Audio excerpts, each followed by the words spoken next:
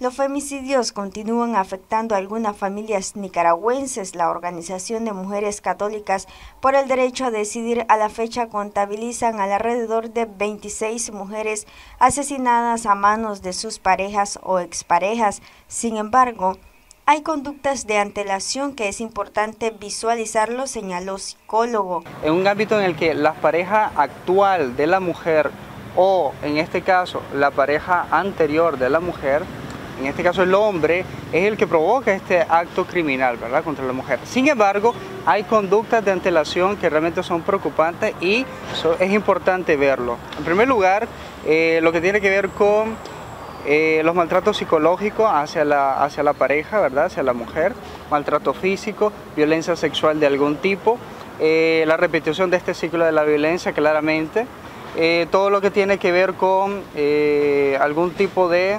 extorsionamiento, producto de cuestiones económicas, producto de otro tipo de, cuestiones emocionales, ¿verdad? además de la dependencia y todos este, estos términos. Eh, lamentablemente es algo que acarrea secuelas psicológicas para los familiares de las víctimas. Y parte de estas secuelas son el hecho de no poder eh, gestionar adecuadamente el duelo, por ser un duelo complejo en el cual se cometió un asesinato, ¿verdad?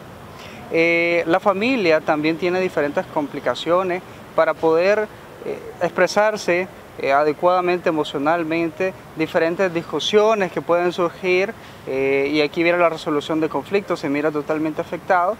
Y obviamente eh, en, cualquier caso, el duelo que se está viviendo en los familiares es algo que debe ser totalmente atendido en ese momento. ¿Y qué Pérez dio a conocer cómo las familias afectadas pueden vivir el duelo?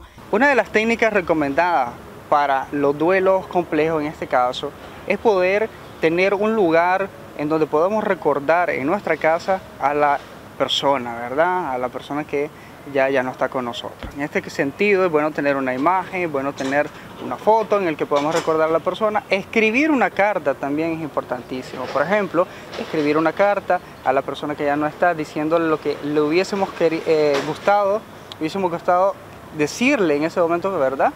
Pero no tuvimos la oportunidad de expresarlas, tener un momento a sola eh, para poder expresarnos y eh, quemar la carta, ¿verdad? Y que esa quema de la carta sumo simbolice el hecho de que nuestras palabras están llegando a donde están esas personas. Noticias 12, Darlene Telles.